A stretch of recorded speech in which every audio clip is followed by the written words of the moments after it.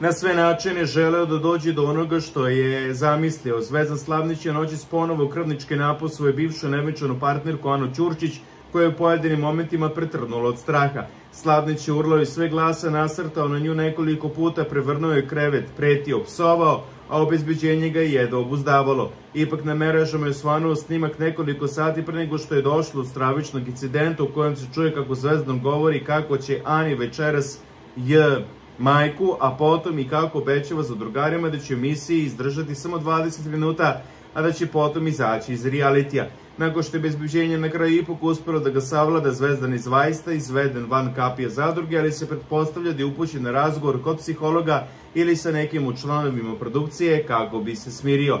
Zvezdan još uvek nije vraćen u Bilu kuću, da kada će ostati na polju saznaćemo vrlo uskoro.